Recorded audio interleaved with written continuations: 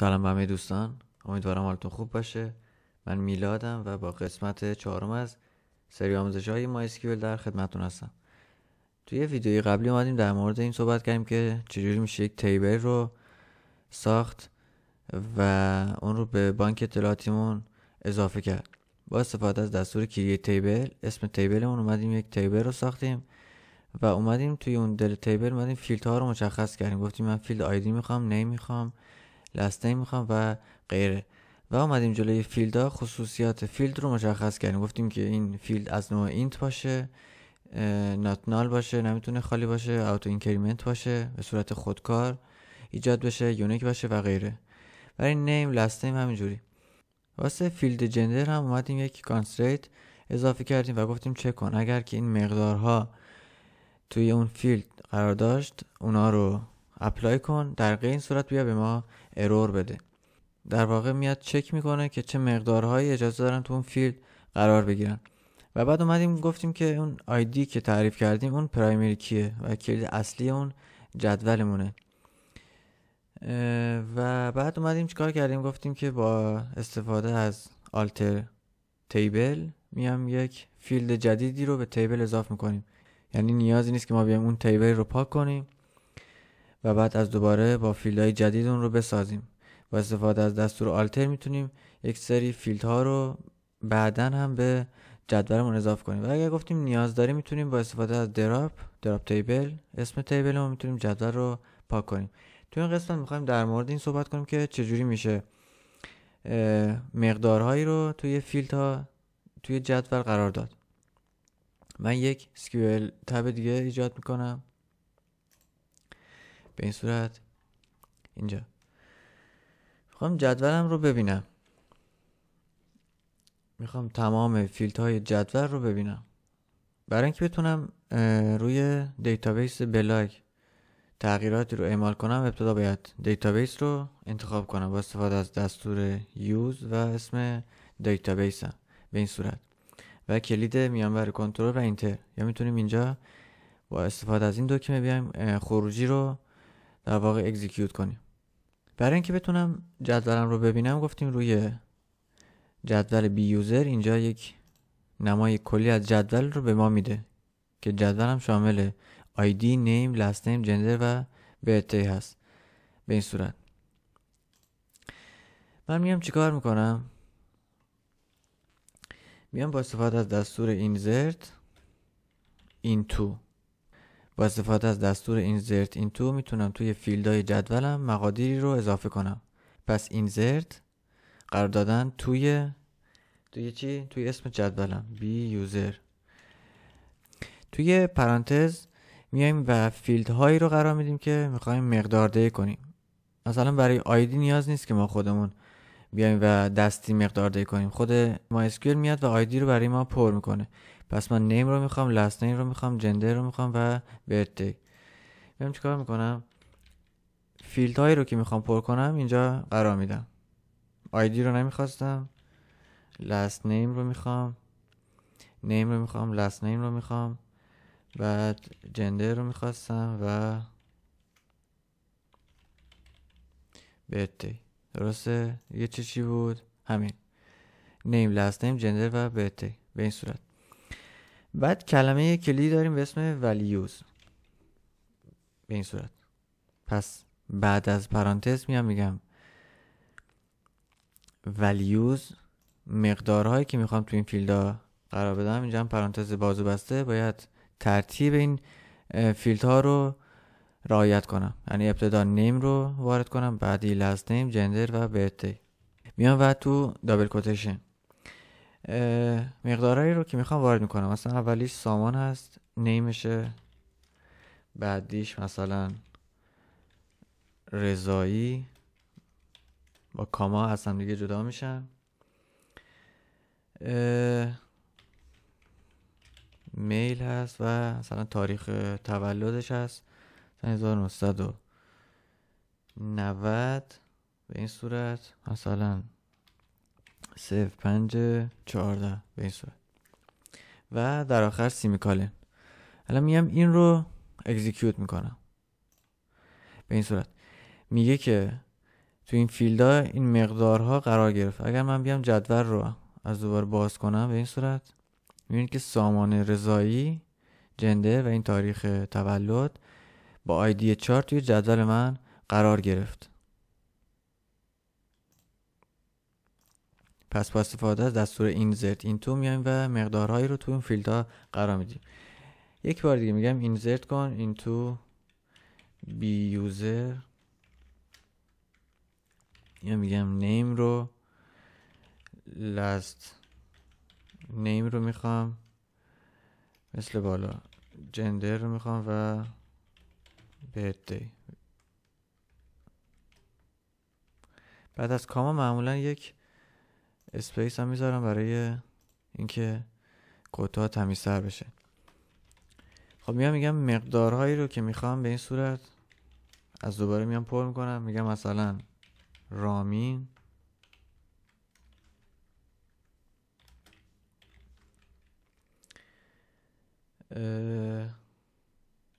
مثلا سامانی همینجوری. و اینم male ه اگر من birthday رو اینجا قرار ندم چه اتفاقی میفته semicolon رو بذارم؟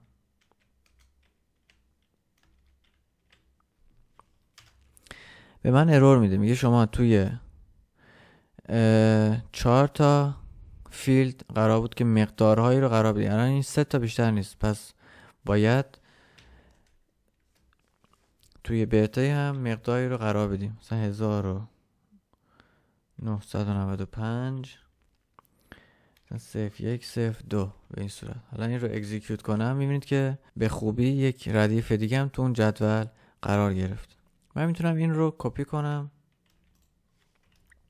و هر اندازه مقدار که می‌خوام تو اون جدول قرار بدم. برای مثال میلاد. معروفی. میل. مثلا این رو می‌کنیم. 1990 مثلا چهار. به این صورت. یک خانومم وارد کنیم. مثلا می‌زنم میترا. برای مثال کریمی. و اینم فیمیل. مثلا می‌ذاریم. مثلا هشتاد و هفت. به این صورت. این رو اگزیکیوت نکردم نه؟ این رو اگزیکیوت می‌کنم این خطم اگزیکیوت می‌کنم به این صورت. الان جدول رو نگاه کنم. ببینید که هفت تا user رو ما توی جدولمون داریم. به این صورت. این دو تا field ی که اینجا می‌بینیم قبلا پر نکردیم و ما به ما error نمیده. چرا؟ چون موقعی که اومدیم جدول رو طراحی کردیم نیومدیم و مثلا بگیم که این field نمی‌تونه خالی باشه. و این field ها خالی بود. حالا بعدا می‌تونیم این field ها رو هم پر کنیم. به این صورت. پس با استفاده از دستور insert into اسم جدول field ها و بعد values و بعد مقدارها اومدیم مقادیری رو وارد جدول کردیم. الان من می‌خوام چیکار کنم؟ می‌خوام بیام و با استفاده از یک دستوری تمام ردیف های اون جدول رو ببینم. دستوری داریم به اسم سلکت میام میگم سلکت کن چه چیزایی رو؟ اینجا مثلا می‌زنم نیم رو می‌خوام. مثلا last نیم رو می‌خوام. و مثلا جندر میام میگم اینا رو سلکت کن. فرام از اسم جدولم. بی یوزر. و فعلا همین. این رو اکزیکیوت کنیم. میگم سلکت کن نیم last name. و gender رو از جدول user. این رو اگر execute کنم به این صورت لیست تمام فیلد هایی رو که خواستم برای ما برمیگردونه. با مقدارهاش. به این صورت. اگر من اینجا ستاره بذارم یعنی چی؟ یعنی همه فیلدهایی که تو اون جدول هست رو برای من بیار با مقدارهاش. اگر این رو اکزیکیوت کنم می‌بینید که آیدی و برتی رو هم برای ما میاره. پس به جای این ستاره یا می‌تونیم مقدارهایی رو قرار بدیم. و اگر خواستیم همه مقادیر رو ببینیم می‌تونیم از ستاره استفاده کنیم. به این صورت. می‌تونم همه مقدارها رو ببینم. پس زمانی که ما اینجا جدولمون رو می‌دیدیم می‌بینید دستوری داشتیم به اسم select می‌گفت select کن همه چیز رو از دیتابیس بلاک جدول b user پس این همون دستوری که اینجا ما یاد گرفتیم. به این صورت. ولی چون که دیتابیسمون انتخاب شده نیازی به این بلاک هم نیست. می‌بینید اگر من این رو اجرا کنم می‌بینید که تمام مقدارها با فیلدها رو برای ما میاره. بعض وقتا نیازی که من name و last name رو با هم دیگه توی یک فیلد داشته باشم. من میگم select کن. یک تابعی داریم به اسم concat به این صورت. و توی پرانتز میام میگم که name و last name رو با هم دیگه alias به عنوان name برای من نمایش بده. به این میگن alias و به این دوتا فیلد یک اسمی رو اختصاص میده و میگه این دوتا فیلد از این به بعد با اسم name بیان و در واقع به کاربر نمایش داده بشن.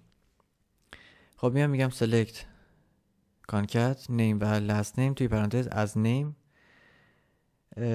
از بی یوزر به این صورت. اگر من این رو اجرا کنم ببینید تفاوتش رو با این ببینید. به این صورت. فقط نیم رو و اینجا بیایم چیکار کنیم. بیایم یه دونه. double quotation بذاریم و توش یه space که در واقع زیباتر بشه. پس اومدیم دو تا فیلد رو با هم دیگه به عنوان یک فیلد به کاربر نمایش دادیم. میلاد خادم ساراخانی و غیره. اینجا می‌تونم بگم که بعد از این این شد یک فیلد. درسته؟ این شد فقط name. بیام یک comma بذارم و بگم که جنده و مثلا دی رو هم برای من نمایش بده به این صورت. حتی اینجا می‌تونم بگم که قبلش id رو هم برای من نمایش بده. و فقط اون دوتا فیلدی که اینجا از هم دیگه جدا بودن رو اونا رو کردیم یک فیلد و به این صورت به کاربر نمایش دادیم. پس اینم از کاربرد function concat که دقت داشته باشید توی همه زبان های برنامه نویسی function ها و یک پرانتز باز و بسته تعریف میشن. خب همونجور که توی ویدیوهای قبلی گفتیم من دو تا میلاد دارم. ممکنه که مثلا بیام اینجا یک insert دیگه کنیم. میام میگم که مثلا باز تو جدول یک میلاد دیگه قرار بده. این دفعه فامیلیش هم هست خادم. به این صورت اینم میل. و تاریخ تولدش هم مهم نیست. این رو اکزیکیوت می‌کنم. اوکی شد. میام اینجا. جدول رو می‌بینم می‌بینید که آیدی 8 اضافه شد. میلاد خادم. پس آیدی‌ها منحصر به فردن. اگر که حتی دو تا کارمند با اسم و فامیل یکسان توی جدولمون داشته باشیم باز هم به ما error نمیده. حتی اگر که تاریخ تولدش رو هم یکسان می‌زدم باز هم به من error نمی‌داد. چرا؟ چون که name و last name قرار نبوده که unique باشه و فقط آیدیه که unique ه حالا من الان می‌خوام به مشخصات میلاد خادم دسترسی داشته باشم. الان دو تا میلاد خادمه. من می‌خوام به مشخصات میلاد خادمی دسترسی داشته باشم که آیدیش هست یک. یا برای مثال آیدیش هست هشت. چجوری من بیام و به اون میلاد خادم دسترسی داشته باشم؟ برای اینکه توی در واقع دستور سلکت توی اسکیول بیام شرط رو بذاریم از کلمه کلیدی where استفاده می‌کنیم. میام میگم که select کن. همه چیزها رو و همه چیزها نیاز دارم. یا فقط اون فیلدهایی رو می‌خوام که اینجا قرار میدم. الان همه چیزها رو می‌خوام. میام میگم که select کن. همه چیزها رو از جدول b user به این صورت. میام پایین. اینجا شرط می‌ذارم. میگم جایی که where id این این آیدیه برابر بود با برای مثال هشت. اگر من این statement رو اجرا کنم برای من اون ردیفی رو میاره که آیدیش هشته و با بقیه ردیف ها کاری نداره. و از اون ردیف هشت همه فیلداش رو برای من میاره. به این صورت. پس من اگر فقط نیمش رو می‌خواستم یا مثلا فقط آیدی و نیمش رو می‌خواستم به این صورت فقط آیدی و نیمش رو برای من می‌برد. جایی که شرط گذاشته بودم. آیدیش برابر است با هشت. به این صورت. یه بار دیگه جدول رو ببینیم. می‌خوام با ور یک چند تا مثال دیگه هم بزنم. برای مثال میام میگم که سلکت کن. همه چیزها رو از جدول بی یوزر ای بابا. بی یوزر شرط می‌ذارم. بگم جایی که مثلا نیمش مساوی است با مثلا میلاد. به این صورت. ببینیم چه اتفاقی میفته حالا من توقع دارم ردیف یک و هشت رو برای من بیاره. چهار تا میلاد داشتیم. درسته؟ همون چهار تا میلاد داشتیم. اگر بیام سلیکت کنم می‌بینید که میلاد یکی دو تا سه تا چهار تا. چهار تا میلاد داشتیم. من فکر کردم دو تا میلاد داریم. پس تمام ردیفایی رو میاره که نیمشون برابر است با میلاد. به این صورت. و یا مثلا بیام یک شرط دیگه بذارم. بیام میگم که select کن. همه فیلدا رو از جدول b user اینجا مثلا یه شرط دیگه بذارم. بیام میگم که اینجا چیزی داریم به اسم like. کلمه کلیدی داریم به اسم like. بیام میگم name ش like یعنی شبیه. شبیه مثلا اینجا توی دابل کوتیشن می‌تونم یک چیزی رو بذارم. بیام که بیام میگم اولش ام باشه و علامت درصد. میگم بقیهش مهم نیست. فقط حرف اولش ام باشه. این رو اگر اکزیکیوت کنم چه اتفاقی میفته؟ تمام نیم هایی رو میاره که اولشون با ام شروع میشه. یا بگم تمام برای مثال تمام فیلد هایی رو بیار که name شون مثلا یک underscore حرف اول دو تا underscore حرف دوم. حرف سومشون مثلا با r شروع بشه. علامت درصد. یعنی با بقیه حرفا من کاری ندارم. حرف اولی چی؟ حرف دوم چی؟ حرف سوم با آر شروع بشه و بقیهش هم برای من مهم نیست. تا آخر. اگر این رو ران کنم می‌بینید که سارا آمد حرف اولش S A و R. حرف سومش R بود.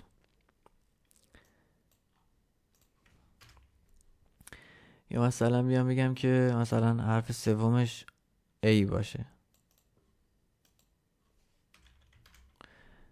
هیچی نبود. چرا هیچی نبود؟ چون نداشتیم دیگه حرف سومش.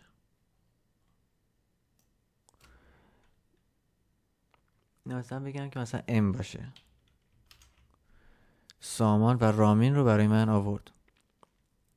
اینجا تا می‌تونم جای نیم مثلا لست رو هم بیارم. هر فیلدی که نیاز دارم.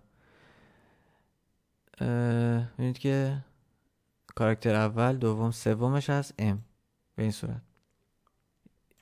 یا بیام اینجا بگم که چی؟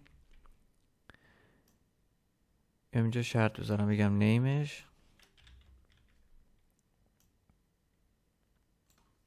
از کاراکتر اول من کاری ندارم فقط آخرش مثلا د باشه به این صورت. اگر من این رو اجرا کنم تمام نیم هایی رو میاره که آخرش با حرف دی تموم شده. پس یک کاراکتر درصد یعنی با حرف ام شروع بشه و بقیه حرف ها برای من مهم نیست. با کاراکتر اول و دوم کاری ندارم با کاراکتر سوم کار دارم. ام باشه و از کاراکتر سوم به بعد هم دیگه برای من مهم نیست. این هم همینجور. میگه با کاراکترها کاری ندارم فقط با آخرین کاراکتر. کاراکتری که آخرش d هست رو برای من بیار. همه field هاشو جایی که name شون این شرط رو دارم پس با استفاده از کلمه کلیدی where اومدیم شرط رو گذاشتیم توی دستور select توی ویدیوی بعدی در مورد عملگرهای مختلفی صحبت می‌کنیم و اونجا شرط های متنوعی رو با هم دیگه می‌بینیم. خب الان من نیاز دارم که این ردیف رو تغییر بدم. یک سری field اش رو مثلا بیام birthday رو بهش اضافه کنم. یا بیام مثلا name ش رو تغییر بدم. دستوری داریم به اسم update. میام میگم update کن. جدول b user رو ست کن برای name. یک مقدار جدیدی. برای مثال من می‌خوام این میلاد رو تغییر بدم m ش رو کنم کوچیک. بگم که با m کوچیک. حالا از کجا این update می‌فهمه که من با این میلاد با این ردیف کار دارم؟ میام پایین و شرط می‌ذارم. میگم جایی که id ش برابر است با یک. به این صورت. پس با استفاده از شرط مشخص کردیم که منظور من اون ردیفیه که آیدیش برابر است با یک. بیا اون نیمش رو با مقدار جدید برای من ست کن. اگر من این رو اجرا کنم و جدول رو از دوباره سلیکت کنم می‌بینید که ردیفی که آیدیش یک بود میلاد به میلاد با m کوچیک تغییر کرد. یعنی اینجا می‌تونم چیکار کنم؟ بیام میگم update کن. توی جدول b user set کن. چی رو این دفعه مثلا می‌خوام day رو ست کنم. با مقدار جدید بیام بگم که قبلا مقداری نداشت دیگه. خالی بود. میام میگم یک مقدار میام میگم یک مقدار رو بریز توی برتی توی جدول بی یوزر مقدار مثلا 1995 برای مثلا مثلا دوازده چارده درسته؟ حالا شرط می‌ذارم. میگم جایی که آیدیش برابر است با یک. دیگه با بقیه ردیفا کاری نداره. میاد و فقط این ردیف رو birth ش رو با این مقدار ست می‌کنه. اگر من چی کنم؟ execute کنم. به من error داد اینجا. می‌بینید؟ میگه این دستور که نوشتی where اشتباه بوده. به این صورت. این رو درست می‌کنم از دوباره execute می‌کنم. این دفعه با موفقیت انجام شد اگر میام select کنم این select رو بیاریم پایین. این موس منم خراب اذیت می‌کنه. میاریمش اینجا که حالا استفاده کنه. به این صورت. می‌بینید که مقداری که اینجا قرار داده بودیم تو اون قرار گرفت. پس با استفاده از دستور update اومدیم. مقداری رو توی اون field ه قرار دادیم. جایی که شرط گذاشتیم. id ش برابر است با یک. خب الان من نیاز دارم که این ردیف رو پاک کنم. دستوری داریم به اسم delete. دقت داشته باشید که برای پاک کردن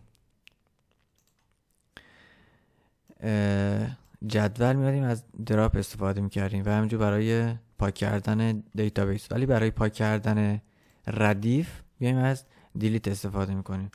میام میگم که delete کن. از جدول b user خب کل ردیف رو. جایی که آیدیش برابر است با کدومش رو پاک کنی مثلا هشت رو پاک کنیم. میگم آیدیش برابر است با هشت به این صورت. اگر من این رو اکزیکیوت کنم می‌بینید که با موفقیت انجام شد. اگر من میگم کل جدول رو سلیکت کنم می‌بینید که آیدی 8 دیگه وجود نداره. حالا اگر که آیدی 8 رو پاک کردم اگر بخوام آیدی جدیدی رو بخوام ردیف جدیدی رو وارد کنم چیکار می‌کنم؟ میام اینجا این رو از دوباره اکزیکیوت می‌کنم. الان برگردم به جدول کل جدول رو ببینم. می‌بینید که از 9 اومد یعنی آیدی 8 از بین رفت. پس ها یک شمارنده ای هستن که در واقع اگر که پاک بشن آیدی بعدی از یه شماره بعدش میاد. به این صورت. پس الان آیدی 8 رو نداریم. و اگر بیام اینجا بگم که select کن. همه چیزها رو from b user مثلا شرط بذارم بگم جایی که id ش برابر است با هشت. چه error به من میده؟ میگه وجود نداره. error نداده. هیچ رو بر نگردونده یک ردیفی رو برگردونده که خالی بودن. پس با استفاده از دستور delete اومدیم و با شرطی که گذاشتیم ردیفی رو پاک کردیم. به این صورت. اگر از ویدیو لذت بردید لطفا کانال رو subscribe کنید و اون زنگوله کنارش رو هم بزنید. تا به محض اینکه ویدیو جدیدی رو توی کانال قرار دادیم شما اولین نفری باشید که اون ویدیو رو می‌بینید. توی ویدیو بعدی کار رو ادامه میدیم.